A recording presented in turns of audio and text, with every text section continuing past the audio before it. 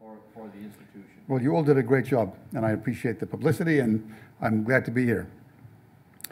Um, I'd like this to be a discussion and not a lecture. So I've got a few words to say, and then we can open it up for questions. You'll be happy to know that although we have two hours, I'm not going to talk for two hours. Um, let me start by saying that uh, since publishing my novel Bloodlines in 2012, which I've spent about seven years writing, I've spoken at over 100 venues across the country about writing and about the novel, about the process of writing it. At none of those uh, presentations have I felt as conflicted and as bereft as I feel today because of what's happening in South Africa. Uh, there's a crisis of leadership there. Uh, President Zuma, as you may know, is they're trying to impeach him. Um, and the, the, uh, this, this, this extraordinary young democracy seems in more danger today than it has since apartheid ended and Nelson Mandela was elected in 19, 1994. Uh, That's why I feel uh, uh, anxiety provoked. And I feel bereft and conflicted also because although uh, I left South Africa in, 2000, in, in 1962 at the age of 14, and although we're sitting here looking at what's happening there from one of the safest places in the world, it is still my home, even though when I go back, I recognize that the place I left doesn't exist anymore. So it's a, it's a, it's a, it's a mixed bag. Let me start by reading to you a quote. The reckoning is nowhere near done. The unfinished business of colonialism and apartheid will be finished by a new generation. Anybody want to guess who said that or when it was said? Sorry? Well, I would have thought that Martin, that, that, that Mandela or one of his colleagues said it. It was said last year by a black journalist in South Africa. And when I read it, I said to myself, how is it possible that a quarter century after apartheid ended, this kind of um, sense of unfinished business still exists? Um, and I think the answer will come out of my talk today, but the conclusion I have to reach is that oppression and servitude and inequity, like, um, like many virulent poisons, have got a much longer half-life than we would like to believe. Um, I hope by the end of this discussion to present you with, with, with some answers to that. But I'm not a journalist or a, uh, or, uh, or, or a historian. I'm a storyteller, and so I'm going to tell a story. I'm also a painter, and I hope that by the time you walk out of here, you'll have a sense uh, of, of uh, um, an impressionist paintings uh, of South Africa from the time it began until today, with perhaps a clearer sense of what happened there and what's happening currently. I was born in 1948, which coincidentally is the same year that apartheid came into being. Uh, and for the first 12 years of my life, I lived in a white enclave outside Johannesburg in a suburb called Rosebank. Um, in May of 1960, something happened in South Africa that was to change forever the history of the country and uh, the, the, the, and, and its future. Uh, it was the Sharpeville Massacre. And for those of you who don't know what it was, Sharpeville is a village outside Johannesburg uh, where in 1960 there was a demonstration against the pass laws, the laws that mandated that black South Africans had to carry with them a document of identification at all times. Um, there were five to 7,000 people standing around the police station uh, demonstrating against the pass law. Most of them were women and children and elderly people. Nobody knows what happened. If you read the research, somebody may have slammed a door, somebody shouted, somebody threw a rock. When the shooting was over, 70 people were dead, and most of them were women and children. And many had been women running away from the police station, shot in the back, one bullet killing a mother and child. I remember at the time that there were tanks going through the streets of Johannesburg the next day. It was the event that caused Nelson Mandela to give up on, uh, uh, on his belief in, uh, in uh, passive resistance and in, in, in, peaceful change. And it marked the beginning of the creation of uh, the military wing of the African National Congress. It also marked the point at which my parents said, we're out of here. Um, and they said that for several reasons.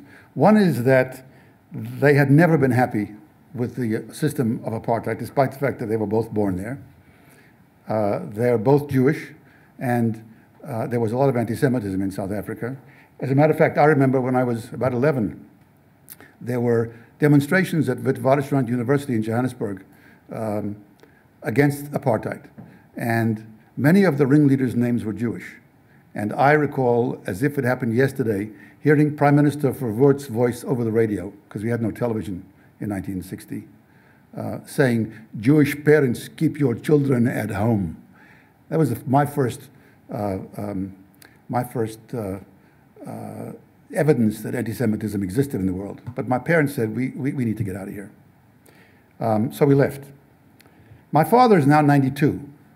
He was a psychiatrist for most of his life, turned into a poet when he retired. And in his 80s, he wrote a poem, which I'm going to read to you. Turns out this is a multimedia presentation. it's called The Night After Sharpeville. And if you get the sense as I read it that it's filled with grief and remorse and guilt, you'd be right.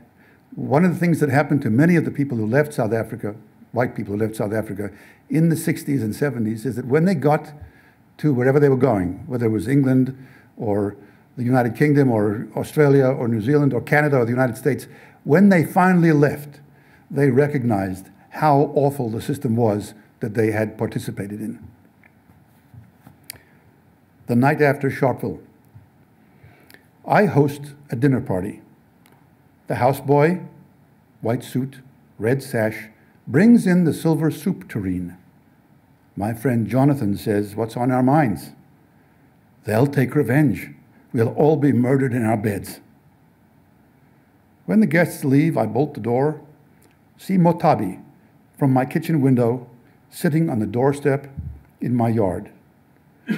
He lays his sash across his knees, angles his palms like a steeple. I think we would all have done better had I given him an extra pound of tea each week. We circle round each other like planets. I never visit in the servants' rooms. But for the stranglehold of history, I might have pilfered tea leaves in twisted strips of newsprint. He might have had the manners of an upper class. We are both poured out like water.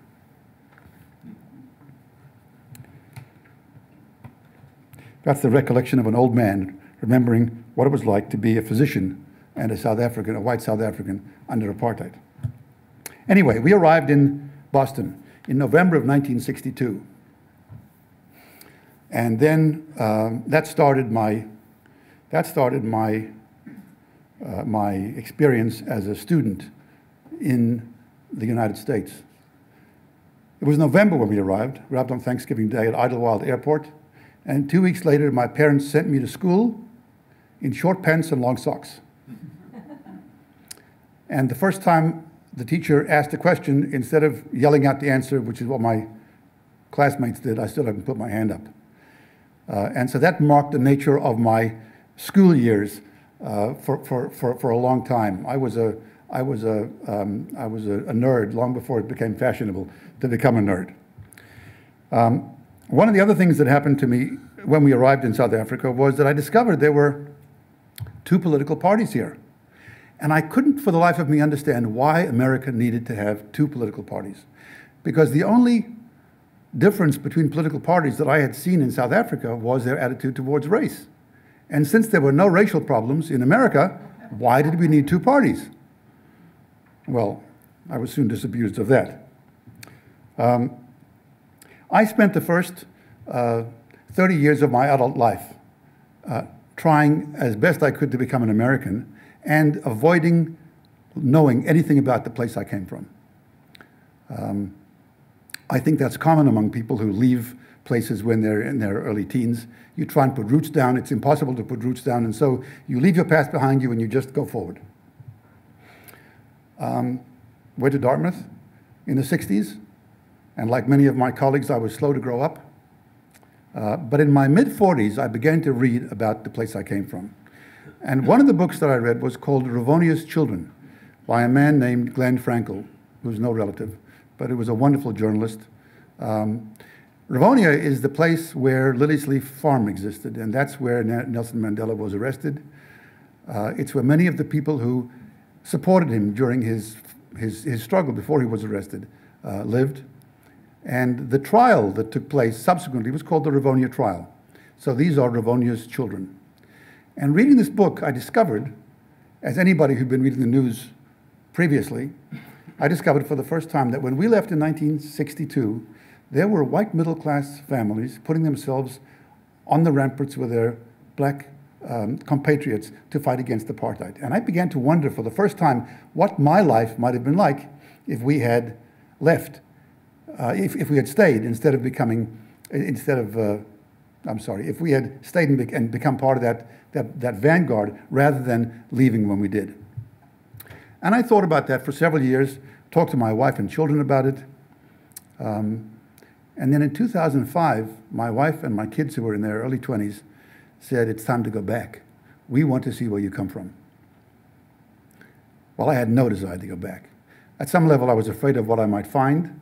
I was uh, afraid of what uh, my reaction might be to what I found. Uh, and emotionally, it felt very tumultuous to me. But when everybody important to you in your life says, This is what we're doing, you pack your bags and you buy the tickets and you go. Before we went, however, I decided to become better informed about the place I came from. And I began reading South African history. And I'm going to give you now a very truncated version of South African history as it, um, as it applies to apartheid. If there are any real historians in here, I beg your indulgence. But I'm wanting, I want to give you a sense of how apartheid came into being. Um, there are several very important dates. The first one is 1652, which is when the Dutch East India Company arrived in South Africa to set up a refueling station at the tip of Africa for, uh, for ships going around to the, to the Indies. Um, within a couple of years, the, the, uh, the colonists of the Dutch East India Company decided that they liked the place so much they wanted to become settlers, and so they left the Dutch East India Company.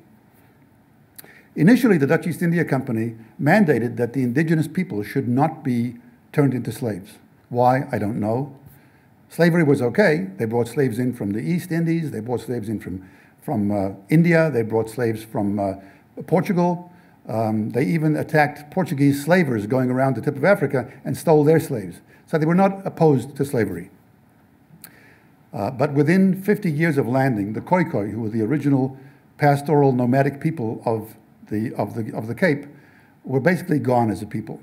They'd been enslaved, their land was gone, um, and their way of life had disappeared. Uh, and more colonists came. Skip forward to 1820, when the British first arrived. And the conflict between the British and the descendants of the, of the Dutch, who became the Afrikaners, uh, began in full flower at that point because the objective of the British was to expand their empire, while the objective of the Afrikaners was to establish, to create and establish and maintain a homeland for themselves. That's the sort of the basic uh, conflict between these two groups, which is instrumental in what happened later, which is why, why I bring it up. In 1834, slavery was abolished in England, and the English tried very hard to abolish it in all of their colonies as well. But that ran afoul of the interests of the Afrikaners. Why? Because these edicts coming down from London said that the Boers, who became the Afrikaners, could no longer take land from the indigenous people at the indigenous people's expense. And when they abolished slavery, all the free people in the Cape uh, had the same rights under the law, which went very much against what the Afrikaners believed, which was that black Africans were heathens, that they were uncivilized, and that they were an inferior species.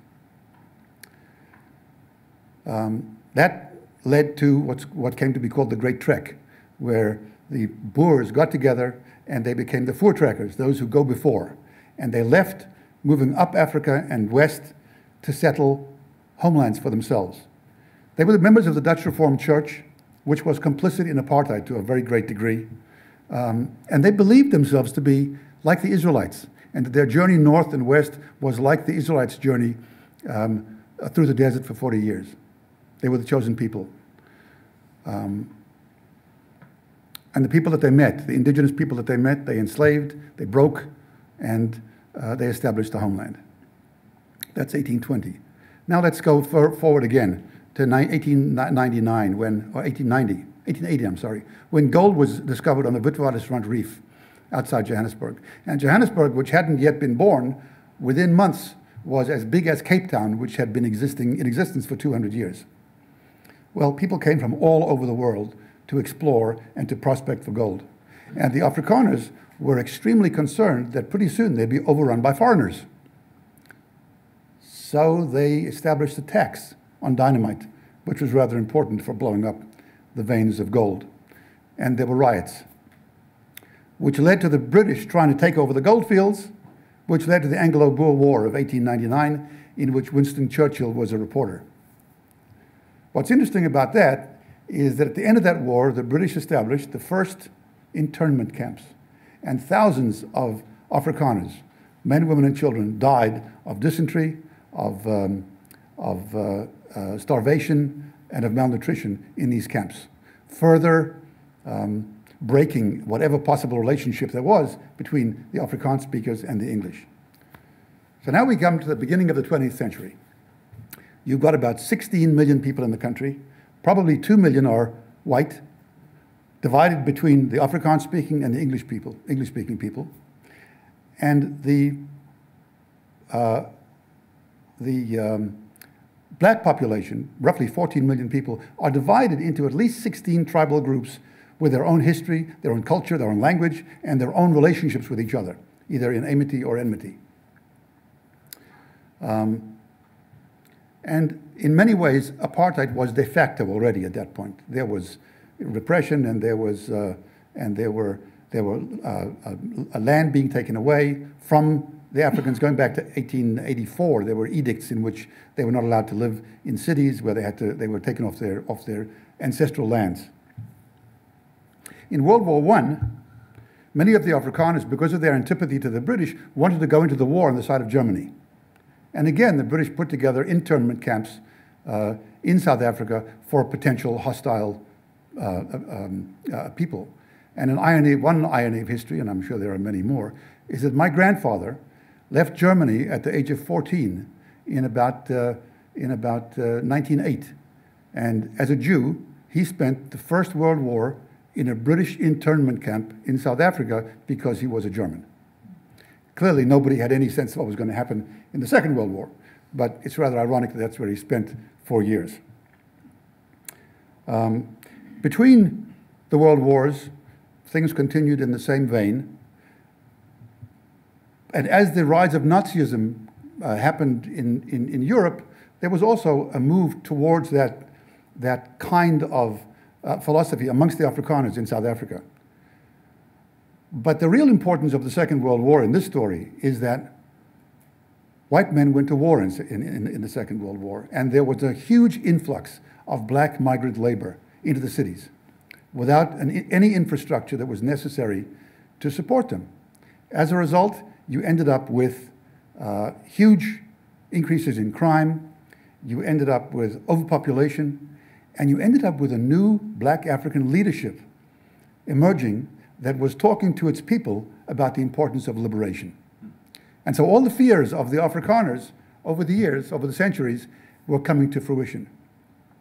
And they needed to do something, they felt, to preserve their way of life and to enshrine the superiority and the, uh, and the, uh, uh, the, the, the, the role of the white man in South Africa, and that was apartheid. There were two political parties then the Nationalist Party, which was on the right, and the United Party, which was a little bit to the left, but not very much. And the Nationalists began to uh, put out that the United Party was being controlled now by Western liberal interests, and that the United Party no longer had a way of keeping the, the big black population under control.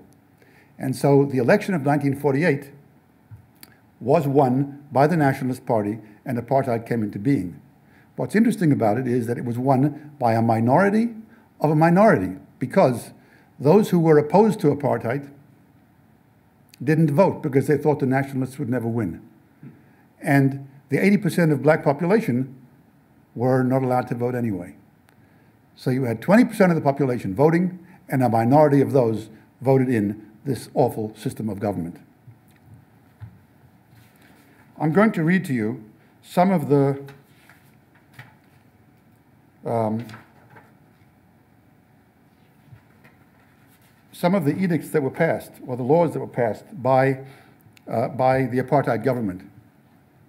And as I read the names to you, they sound so innocuous. They're just words, but they had an impact on three generations of people that was destructive uh, beyond, almost beyond description. First, there was the Population Registration Act, which required that you have to carry a, pass, a, a, a, piece of paper identifying whether you are either black, white, colored, or Indian. There were four racial classifications.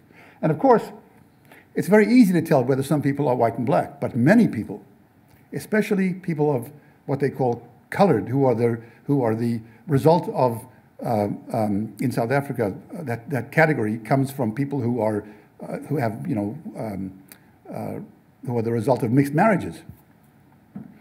And there are very many variations of who's white and who's black.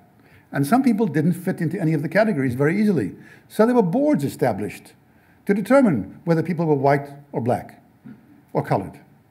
Uh, and as a result, people were ripped from their homes, ripped from their families, separated because they didn't look like their parents. And then, of course, there was the pencil test.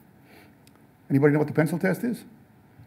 If you put a pencil in your hair, or if the board puts a pencil in your hair and it stays there, you're black because you have tight hair, curly enough to hold a pencil. Now, it sounds unreal. It actually was something that they did, and it actually was something that determined um, the, the, the tearing of families apart. The Group Areas Act just sounds like a law that was passed. It determined where people could live black and white and colored and Indian people had to live in different areas. And you couldn't move from one to another very easily.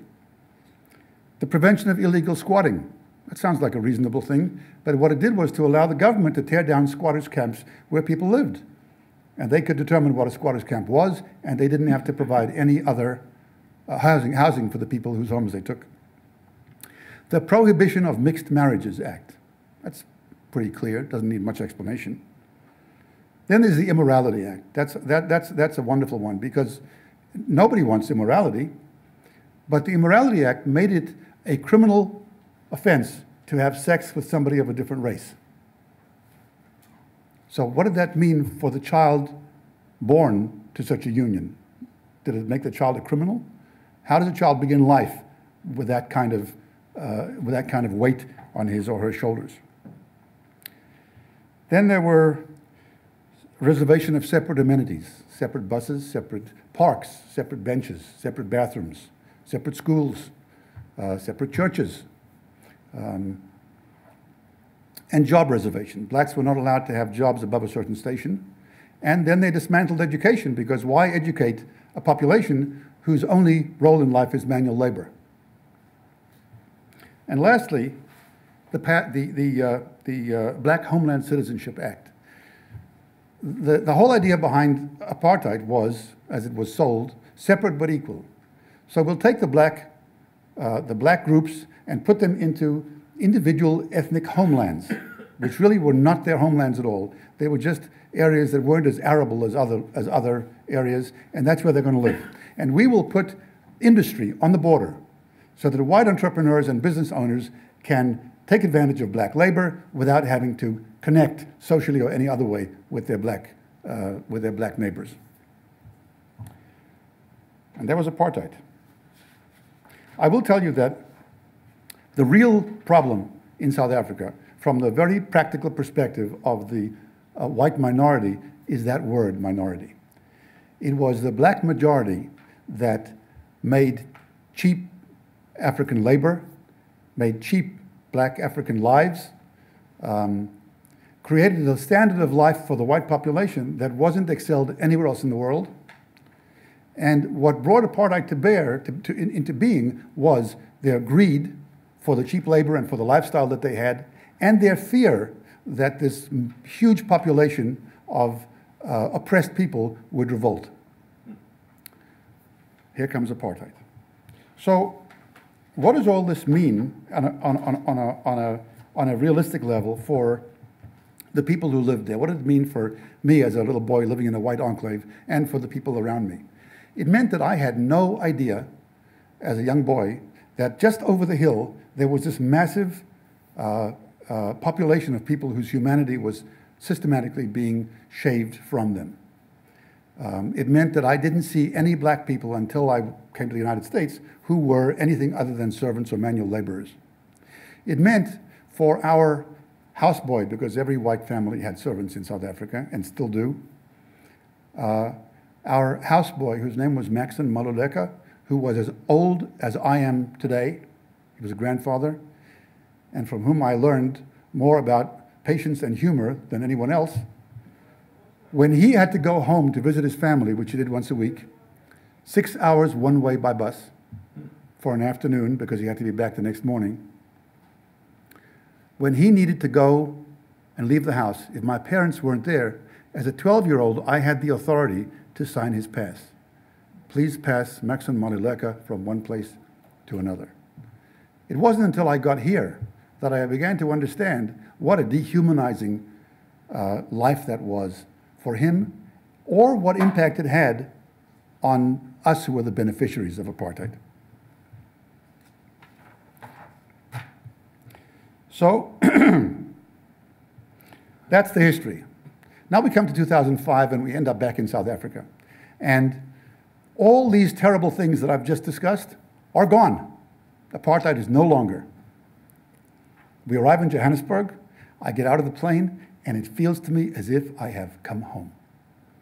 South Africa, Johannesburg is at about 5,000 feet, and around it there's, there are hundreds of thousands of miles of, uh, of. And in the winter months when it's dry, these grasses catch on fire. So in order to uh, avoid the, the, these massive fires, they do controlled burns all year round. And the smell of burning grass, that particular smell, is so prevalent in Johannesburg I didn't notice it when I was 14 when I left, but going back in my 50s, it felt as if I had come home. Uh, the optimism in the country in 2005 um, that was still there from Mandela's election in the, in the early 90s was really palpable. You could feel it in the streets. We would go into stores and there were black and white South Africans on both sides of the counter. Uh, everybody was happy and, and, and optimistic and glad to be in that place in that time. And I began to feel a terrible sense of loss about the life that I might have lived, which of course is illusion. But several things happened on that trip that um, convinced me that, uh, that uh, I wasn't through with my past, that I hadn't integrated it. One of those happened in a little town called Wilderness outside Cape Town. Were you ever there? Wilderness? Yeah. Beautiful little town. And we were in a cafe owned by a black man who wouldn't have been allowed to work there, let alone own the place when I left. And he heard us talking, and my accent came back very strongly the minute I arrived. My children said, Dad, we can't understand what you're saying. Would you please speak more clearly? Anyway, he heard my accent, picked me up by the elbow, took me outside onto the sidewalk, and he said, Hey, what's your story? And I found myself telling my life story to this man I had never met before. And when I was through, he said, You know, when things got really bad here, I left South Africa. I went to Europe. I married. I had three children. And then when Nelson Mandela was elected, I came back. Do you know why I came back? He said. I said, I have no idea. He said, because once you get Africa in your blood, you can never get it out. And then he threw his arms around me and he said, Welcome home, brother. And I started to cry. Nobody was more surprised at my tears than I was because I thought I was done with this. Clearly, I wasn't. The second thing that happened is that we went to the Apartheid Museum in Johannesburg, which is a museum intended to duplicate the experience of what it must have been like to live in a society where, where one's life is regulated based upon the color of your skin. And when you arrive, you get a chit which tells you that you're either black or white, and you go through the door that is appropriate to your particular race. And as we stood in line waiting to go in, up on the right hand side there was a group of 10 or 15 students, black, white, Indian, colored, and they were standing around, they were about 14 or 15 years old, standing around uh, an object and laughing. And I couldn't see what it was they were laughing at. until I got closer, and between their legs, I saw that it was a dark green piece of wood.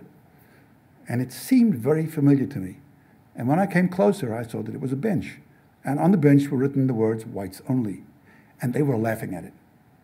And my first response was, what a wonderful thing that these kids can laugh at this object that had such implications for their parents' lives.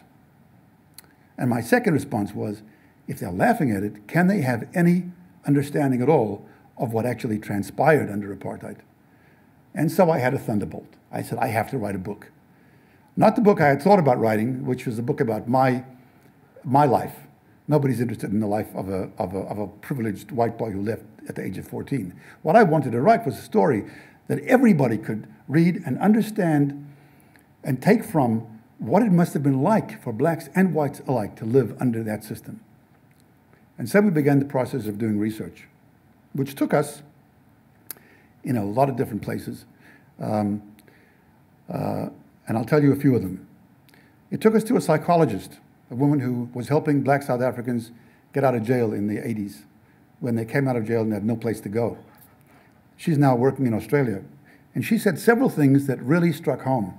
She said, You know, people who live under apartheid live in it in the same way that, way that fish live in water, completely unaware of their own environment until they're out of it. The second thing she said is that if you live in an oppressive state of any kind, you fall somewhere on a spectrum between being a perpetrator and a victim. And if you live in the place, you can never be off that spectrum. You may be able to move a little bit in one direction or another, but you are always either a beneficiary of the system or a victim of the system or a perpetrator in some form. And um, that's an extraordinarily wise statement, and it's true for all political systems, and it's true. I, I think of it whenever I read the paper about what's happening in the world anywhere. Um, we went to uh, uh, KwaZulu Natal, which used to be called Zululand, and much of the book takes place in Zululand. Um, and it has changed very little. It's a gorgeous place. The cover of my book is actually a picture of Zululand. You know, rolling hills, wide open spaces with the Drakensberg Mountains in the distance. And uh, we went to the Nkandla Forest, which is where King Cetshwayo, the last Zulu king, hid for some years before he was found and killed. And Nkandla may be something that you're familiar with, uh, although you wouldn't have been up until a few months ago, because that's where President Zuma's estate is, the estate that is so much in the news today. And we stood on top of a mountain where there was a water tower so massive I can't even describe to you being built. Um, and the engineer said to us, Look down there. That's the estate of Zuma. He's going to be the next president. This was 2005. He's not a nice man, he said. He's much more interested in his own interests than he is in the interests of the state. And you know, he said, he got water for himself and for his neighbors before anybody else did here. I didn't know who Zuma was at the time. Um, what's interesting about that is that when, um, when the South African Constitution was written, water was included in the Constitution as a right. And I had the privilege of talking to a man named Albie Sachs, uh, who, was an, uh, who was a South African anti apartheid uh, activist um, who left South Africa uh, because he thought he was going to be killed if he stayed. He spent a lot of time in detention and in solitary confinement. Um, uh, anyway, he was, he was ultimately teaching, teaching law, I believe it was in Mozambique. And the special branch in South Africa, which was the the branch that did a lot of awful things under apartheid, uh, sent him a car bomb and blew off his arm and took out an eye.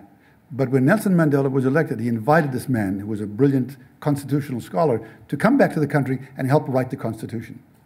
And when I went to see, to see him speak at the Moakley Courthouse in Boston, there were 15 judges there who'd come to listen to him talking about the writing of a Constitution. Uh, it was fascinating. And what he said was, you know, a constitution comes out of the history of a place. And our constitution here came out of the belief that this is the best possible place in the world to live. And the objective of the Constitution is to keep government out of our pockets and out of our hair. In South Africa, it's very different. There, the Constitution comes out of 50 years of apartheid. And what they wanted to do was to incorporate into the Constitution many things that our Constitution doesn't have. They wanted to incorporate Ubuntu, the, the, the, the, the Zulu word which means, which, which loosely translated means I am here because you are here. We belong to each other. We are responsible for each other. And so there's something of a socialist uh, tinge to the Constitution. But they enshrined rights in the Constitution that we don't have here the right to education, the right to health care, the right to water. Now, not all those things are happening yet in South Africa. Whether they ever will, I don't know. But as a goal, they're pretty admirable. Um, and so now we come to today. And today, or last week, the Constitutional Court of the United of, of, of South Africa voted that Prime Minister that the President Zuma was in contravention of the Constitution and that the Parliament had aided and abetted him. And that proves to me that the Constitution is still a viable, strong, powerful tool in the arsenal of government in South Africa. Then the impeachment vote was taken, and it failed miserably, which tells me that politics is there as it is anywhere else. So I want to move now to a book that was written recently by a woman named Ferial Haffajee. You know it? It's a book entitled What If There Were No Whites in South Africa? And I think it's a book that needs to get a lot more attention than it's gotten. This woman is a self identified black woman, although she looks like an Indian, um, born before apartheid was, was ended, but her professional life has taken place in South Africa after apartheid. And she wrote the book because what she discovered in her in her, uh, in her work and in her contact with her peers is that despite the fact that most of her colleagues are black, despite the fact that her mayor is black and her representatives are black, despite the fact that her president is black and the police force in South Africa is black, there is an obsession among middle class, black, successful young people, the people they call today the born frees, those born after the end of apartheid. There is a, an, an, an obsession with um, whiteness and white privilege. And so she did all kinds of focus groups in South Africa, in Johannesburg, trying to find out from people where this came from and what their senses were. And I will tell you that some of her conclusions are really scary. Um, what she found is that um, her young colleagues feel that as long as white assets are distributed amongst the black population, all the problems in the country will go away. If you look at the numbers, it's no longer true. They're also convinced that um, uh, there are more and wealthier whites in South Africa than there actually are. As a matter of fact, there are probably 50 million people in the country, of which four and a half million are white. It's a relatively small population small percentage. They're convinced that white business hasn't done what it should have done and what it promised to do at the end of apartheid to redress old wrongs. And they're convinced that the culture of whiteness, whether it has to do with how you hold your knife and fork in a corporate business dinner, or how aggressive you can be in a meeting, aggressive and take charge in a Western sense, which are not African values, these are the things that still determine success in the, in the, in the, in the, in the business world in South Africa. Um, they're also convinced that although blacks have political power, they don't have economic power. And that somehow there is something working behind the scenes to keep them under somebody's thumb. Uh, and these, the, the, the, there is a difference between being middle class white in South Africa and being middle class black. Middle class whites come from privilege. They have, they have according to the viewpoint of their black compatriots, swimming pools and cars and international vacations. And cushions underneath where they are so that if they get into trouble, there's money. The blacks, on the other hand, are first generation success stories. and they carry with them the obligation to their families who haven't made it out of poverty and who call upon them whenever there's a need for education or health or anything else. So they feel terribly burdened. Um,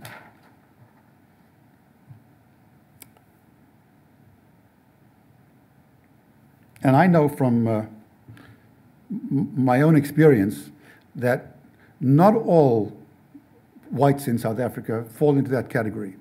As a matter of fact, by some accounts, those who were at the bottom of the economic ladder when apartheid ended have now fallen under the radar. And there are accounts of up to 400,000 people, 10% of the white population, living in squatters' camps, which you never hear about. Whether that's true or not, I don't know, but it's reported. I also know, because I've been solicited by uh, people on crowdfunding trying to make videos, movies in South Africa, of how the white population is being, and these are their words, not mine, being um, impoverished, and how there's a genocide against whites by the black population. Is it true? I, I don't think so. But amongst those who are at the bottom of the economic ladder, who are now disenfranchised in the same way that blacks were disenfranchised before apartheid, I'm sure that they're suffering.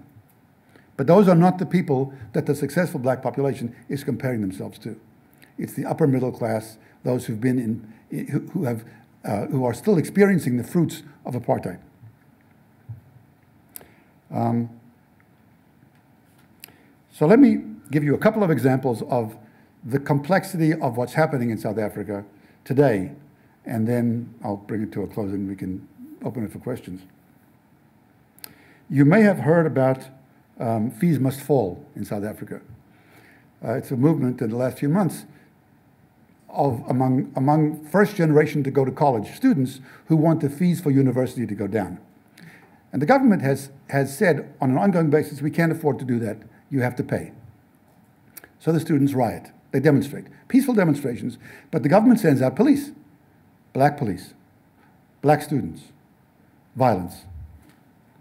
White students come in solidarity with their black brothers and sisters and surround them as if to protect them, and the black police back off.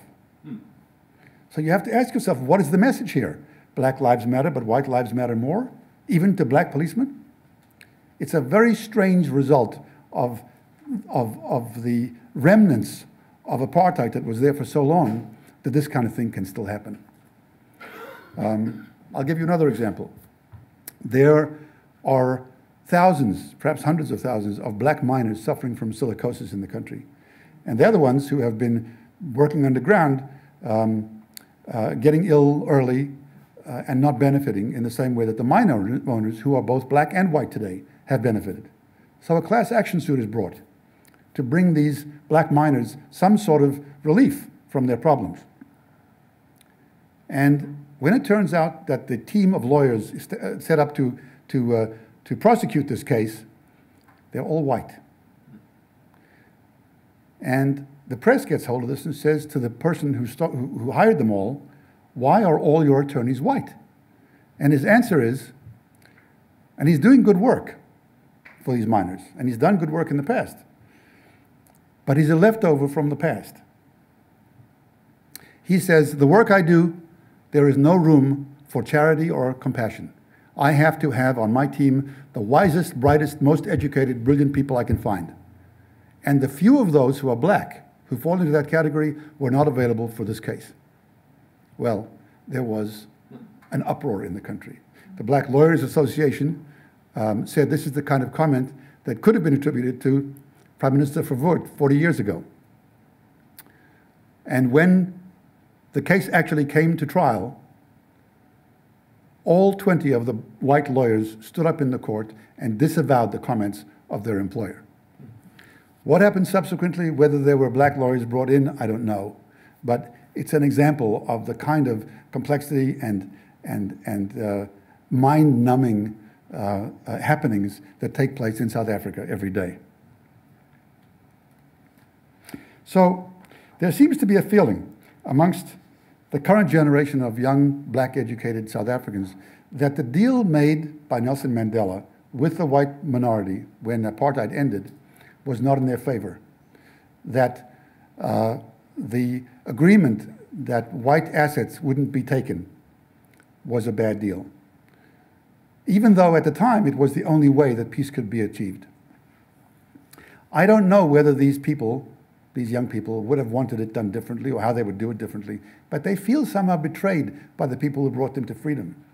And uh, I don't know whether the Truth and Reconciliation hearings that were so instrumental in bringing about peaceful change, whether they would have done it differently or at all had they been in, in, in that position. Let me close with a brief story. In 2008, when my wife and I were in South Africa, we happened to have the privilege of meeting a man whose name is Mangosuthu Buthelezi a prince of the Zulu people who for many years was the voice of reason in South Africa, and I think has been vilified lately because of his affiliation with uh, the political party he created, the Inkatha Party. If there's time afterwards, and if you're interested, I'll tell you the story of how we had lunch. But in any case, we had lunch. It was like dining with royalty. It was an extraordinary experience. And I said to him, because this was now our third visit back to South Africa, and the optimism of the first visit was gone. And I said, you know, as a writer and as a writer of fiction, I look for redemption in my stories. And as I look around South Africa today, I don't see any.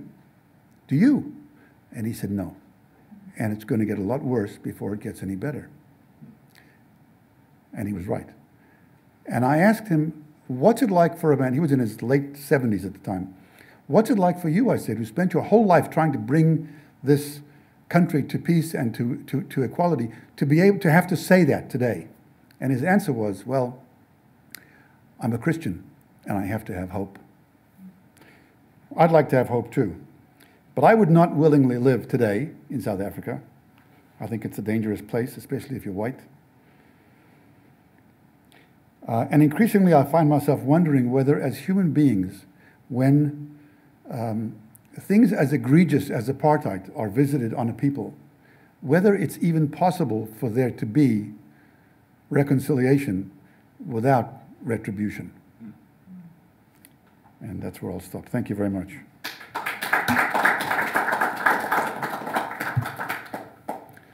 I'll be very happy to answer any questions or take any comments or objections, or anybody wants to sing a song, we can do that too. Yes, sir. You mentioned reconciliation. Can you elaborate? Do you think that was a successful venture? You mean the reconciliation, truth and reconciliation hearings? Yes. So the question is, was the truth and reconciliation hearings successful? I think at the time it was very successful. It was what allowed uh, a, a peaceful transfer of power to take place. I think several things came into that. One is that this concept of Ubuntu, that we own, we, that we are responsible for each other, is deeply rooted in the, in the, in, in the people of South Africa. Um, and, and I've read the transcripts of the, reconcili- of the Truth and Reconciliation hearings, and the atrocities that were committed, black on black, white on black, black, you know, whatever, um, were just extraordinary. And they were, people were given the opportunity to stand up, to say what they had done, and to be forgiven by their victims. And I think that went a long way towards, um, towards uh, a peaceful transition. And the hope was that that was all that was needed. It turns out that, as I said at the beginning, uh, oppression has a very long half life. Yes, sir. You know, yeah, having lived there four years, you really brought back the, the whole experience to me. I thought that that was terrific. It's one of the best summaries I've ever heard of the situation there. Oh, thank I have a you. question, uh, a couple of questions, but I'll just give you one now. Uh, I remember I covered the civil rights movement as a, as a journalist here, and there was a very close ties between uh, Jewish Americans and the, the black liberation movement here. Uh, and the rabbis were marching along with Doc- Dr. King and such. In South Africa, when I lived there, I found that a lot of the, not Jewish, but I found that a lot of the, have Jewish friends, and my, uh, I found that they were not, they did not feel uh, as open to the blacks as, as American Jews did here. Uh, I'm just, I don't want to, it's hard to explain this without mischaracterizing it. But I, but why would that have been? Well, I don't think you're wrong. I think it's an extraordinarily complex question. The question is the, the, the Jewish population in, uh, in this country seemed to be very involved in the civil rights movement, and it didn't seem to be so in South Africa when you were there in the late, 90, late 80s, early 90s. It's a very complex issue, and I'm going to give you an answer that is normally part of other speeches when I speak at synagogues, um, because this is an issue that really uh, touches me deeply as a Jew. Um, and, and I have to give you a little, a little bit of background first. um, many of the Jew, as I mentioned, many of the many of the Jewish names, many of the ringleaders in the in the demonstrations that I was that I knew about as a young man were Jewish.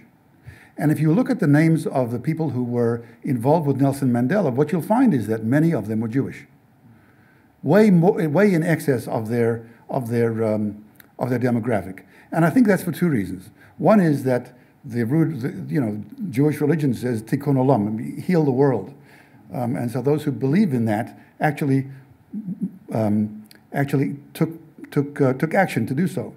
The other thing is that many of those who came from from Eastern Europe, many of the Jews who came from Eastern Europe, had a socialist or a communist background. And the communist, um, the communist party in South Africa was started by the Jews, as were many of the labor unions. Um, but despite the fact that many of the people who were with Nelson Mandela were Jews, the Jewish community as a whole said nothing. And I found that very distressing. And I found especially distressing when I gave a talk at, uh, at Brandeis and uh, mentioned, as I said today, that as a little boy I had no idea what was going, along, what going on across the hill. And a student in the class asked me, Did your parents know? Did the adults know what was going on across the hill? And I said, I, I think they did. But those who objected were in a minority, and if they had done anything or said anything, this wasn't a democracy. They would have lost their jobs, or they would have gone to jail, they would have been beaten up. And she put, the teacher called me aside afterwards and she said, You know, that sounds to me very much like the excuse that was made in Nazi Germany when the Holocaust was going on and the Germans didn't do anything. And I realized at that point that although the two things are not completely equal, if I forgive, if I have the right to forgive anybody, if I forgive those whites who lived in South Africa and benefited from the system and didn't change it, I have to give the same right to the Germans who did nothing. And so I began to invest, and that was, for a Jew, that's a very hard thing to do. And I began to investigate further. And I met a woman in South Africa whose name, in Boston, uh, whose name is Maxine. Maxine Hart, who was a Jewish woman who tried very hard in the 80s to get the Jewish community to take a stand. And she was completely um, shoved off by the rabbinate. But when you read the history of South Africa, and you read that in the 30s, when Nazism was rampant in Germany and in, and, and in Europe, and you see that the Afrikaners were at that point beginning to say, you know something? It's time to take away Jewish citizenship from the Jews in our midst. You begin to understand the fear that sent my parents out of the country. There were never more than 120,000 Jews in South Africa, in a population of four and a half, four and a half million whites. Today, there are probably 70,000 Jews. Um, so the answer to your question is that, yes, there were many Jews who were involved in, in the anti-apartheid movement. Um, and if you look at those who went to jail with, uh, with Nelson Mandela, many of those were Jews. But the rabbinate refused to take a stand because from their perspective, their role was to protect their community. And standing up and standing out was a dangerous thing to do. So it was, it was a fascinating realization for me. Um, yes, sir. Are there any um, legitimate uh, opposition within the ANC or outside the ANC to Zuma? And so the question is, are there, is there a legitimate opposition to the ANC uh, um, uh, today? Yes, there is. Um, Julius Malema, who used to be the head of the, uh, the, the youth ANC, is now a, a, a, political leader. And there are other parties in South Africa that are, that are opposition parties. Uh, but the ANC is seen by many in the older generations as the party that brought them freedom. This was the party that was banned. This was the party that brought violence to the country and overturned apartheid. How could they betray it? And that really is one of the reasons why they're keeping it in place, as well as the fact that, you know, many people in government in South Africa have become rich as a result of their positions. And uh, if Zuma goes down, many of them will go with him. So I, I think it will happen. I think there will be, I, my sense is there are going to be some massive demonstrations in South Africa um, against Zuma and to force him to, to step down. Um, but the other thing to remember is that the Zulu ethnic group is the largest ethnic group in South Africa, and um, that the ANC is basically a Zulu organization, or, or, or, was for many years. And so it's very hard for people, you know, we sit here looking at black and white. They're looking at tribal groups that have affiliations and, and relationships, which we can, can't even begin to understand today. What is Yes, the sir. real conflict in South Africa today? Is it just against Zuma? Or is it against the ANC? Or is it on other kinds of issues? Is the conflict against Zuma or against the ANC? I think the conflict today is, well, before I uh, put this talk together, I would have said that the conflict is economic. It's no longer a race based conflict. That the real issue is that unemployment is somewhere between 25 and 45 percent, depending upon who you talk to. And in a country with that kind of unemployment, you're going to have massive problems. Um, but I think that, you know, when the, when the ANC came into power, many of the people who had been revolutionaries in the 60s and 70s and 80s saw the gravy train come in. And they put aside their revolutionary zeal and they became wealthy. The corruption in the country from every level of government, from top to bottom, is just complete. Um, and I think that's what the real issue is. What does the opposition really want right now? They want more schools. They want more hospitals. They want more roads. They want more houses. Um, you know, it's not as if they haven't done anything. There are 13.5 million people in South Africa now who are fall under a social safety net that didn't exist under apartheid. They have built and given away millions upon millions of homes to people who didn't have them. But they're not building the homes fast enough. They're not educating students fast enough. Yes, educating teachers fast enough to cover all the teachers who are there. Um, and, you know, I, I think part of what's taking place there is that there was a very idealistic um, attitude towards the change that, that, that, that, that came in. We talked to the South African ambassador a couple of years ago who gave a, a, talk in which he said, you know, when, when the African National Congress and when apartheid was going on, South Africans would go north into Angola and other places, and they helped us train, and they, they, they gave us succor, and they, they, they, they gave us assistance. And now what's happening is that here we are, a free country, and they want to come across our borders to take advantage of our wealth and our peace. Because South Africa has open borders, and they're not, they're, they're not, they're not controllable in any way. When the Constitution was written, they said anybody in South Africa can take advantage of medical treatment. And if you're in South Africa, whether you're legal or not, and you have children, you have to send them to school. So here you have this, you know, idealistic view of the world. Whether that is a, a, an achievable goal in a country that doesn't have unlimited resources, I don't know.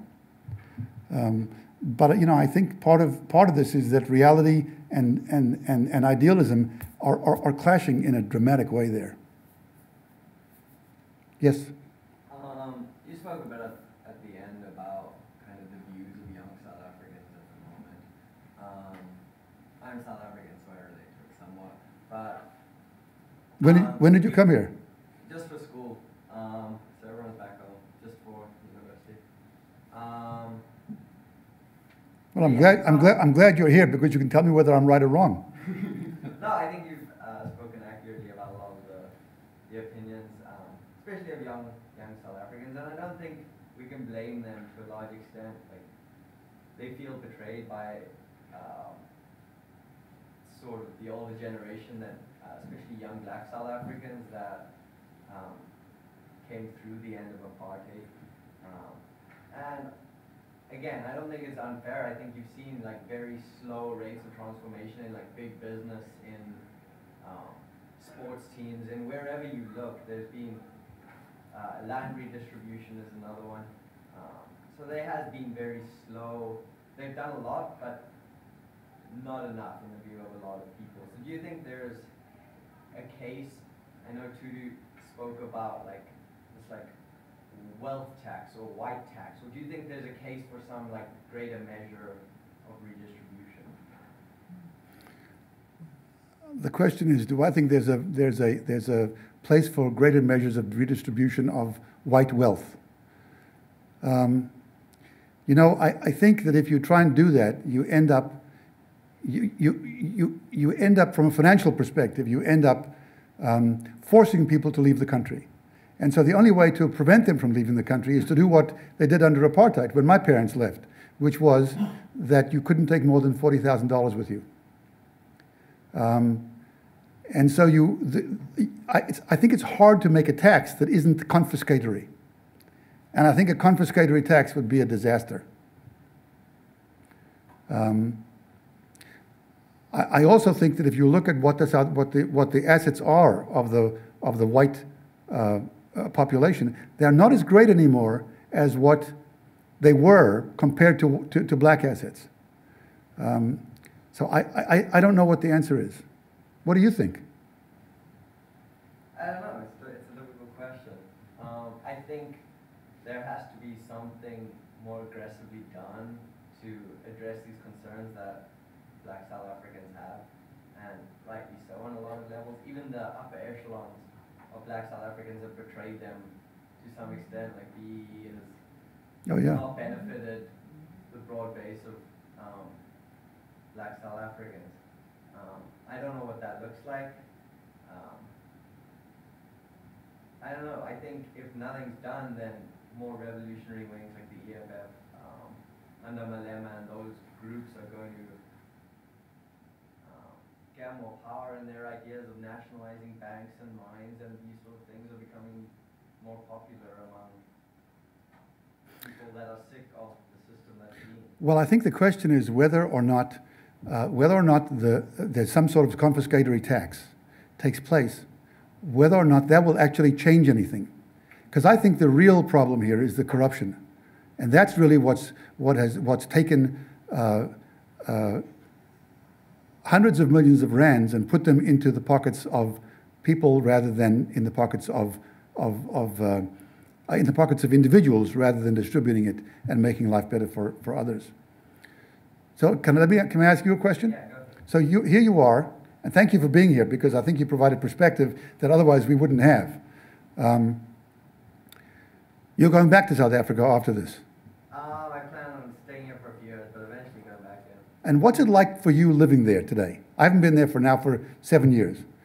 What's it like? What's it like as a as, as a as a, a member of a very small white minority? Where do you live? I live in Joburg, in Randburg. Yeah, um, yeah, Craighall. Um,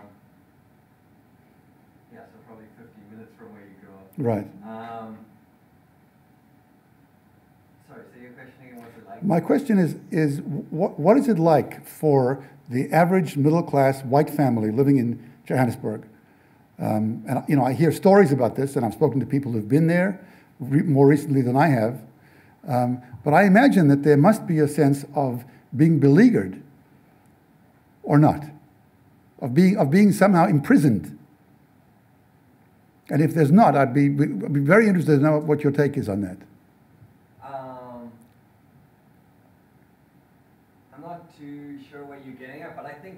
There is.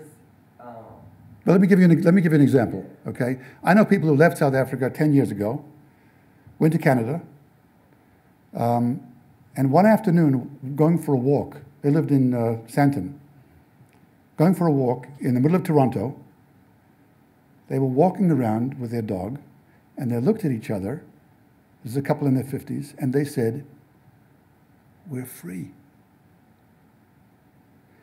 And they realized that their whole lives had been spent in a country where they had to look behind them every single moment, and where every door had to be locked behind them at every single moment, and they lived behind electrified walls.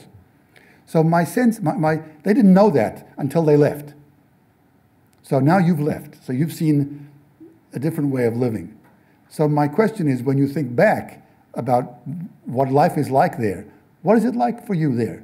I think there's a couple of things. I think, like, firstly, that feeling that, okay, you live behind, like, electrified fences and those sort of things, but that feeling is contrasted with the kind of guilt and privilege that you feel living in this society, um, that, okay, you live in fear of crime and corruption and those sort of things, but also you're incredibly privileged in a lot of other ways and a lot of other South Africans also have to deal with these things, but they don't have the same resources that you have to do this.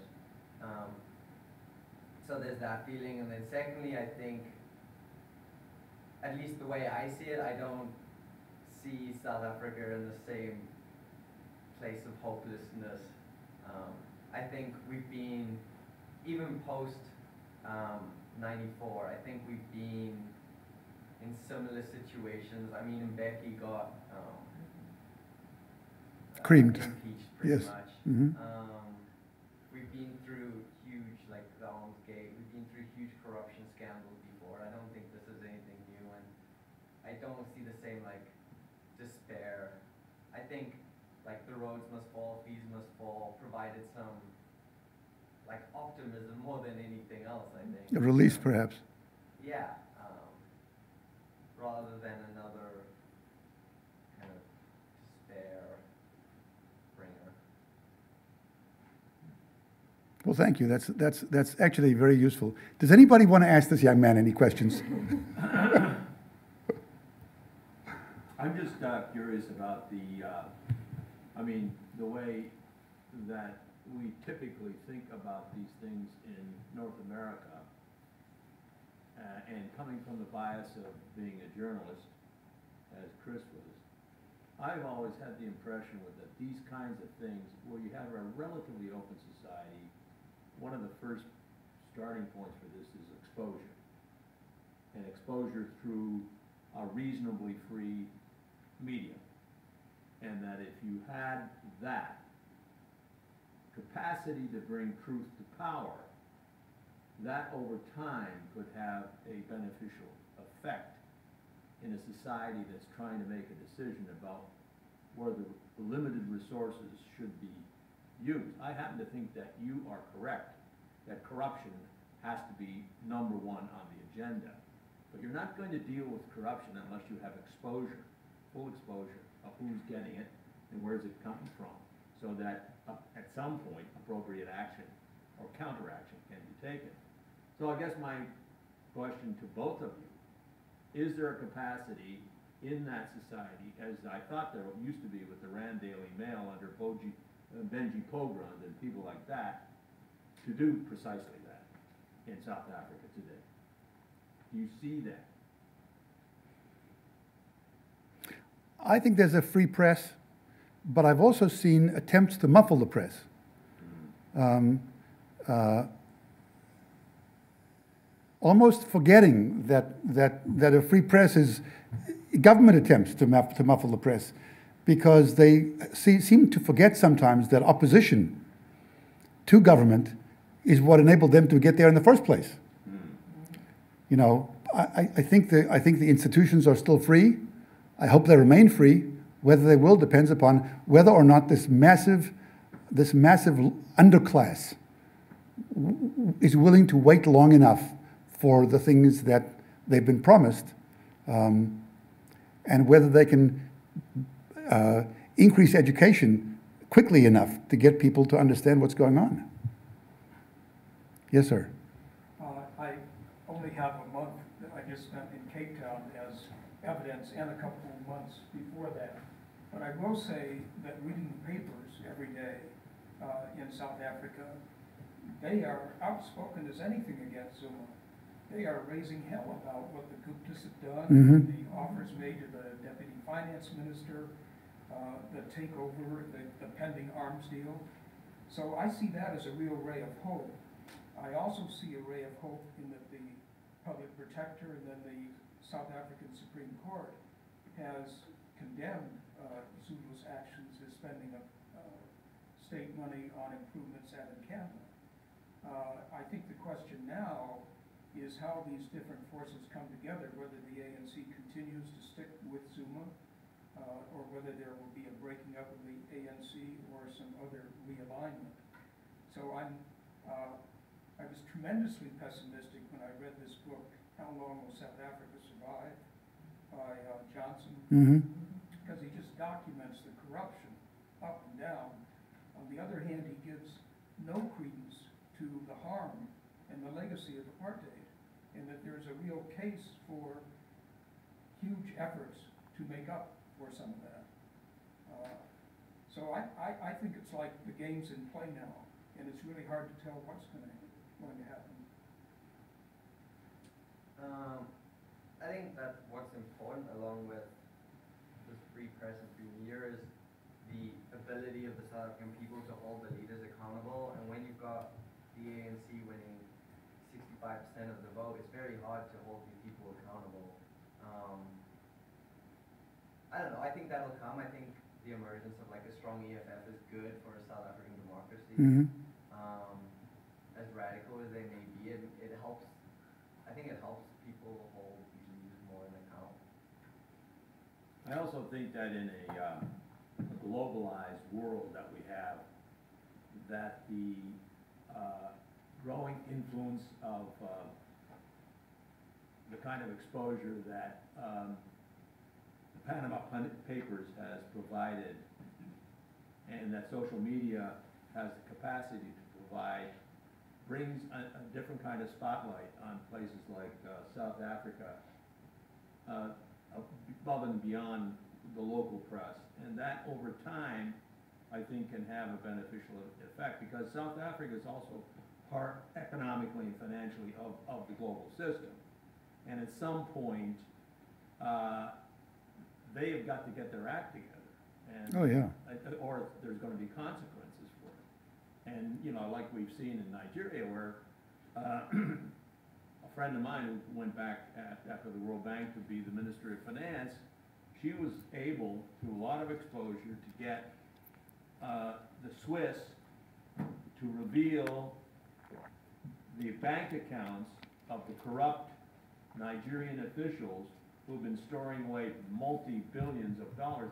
And she got back something on the order of over a billion dollars back into In the country. the coffers that were used to strengthen the budget and do some useful things in Nigeria through exposure, through going after the culprit. So there is hope. But it takes courageous people. It takes very courageous people, Yeah. and it takes time. Yeah, it takes time. Um, Anyway, thank you all very much. Thank you, it was great. Thank you.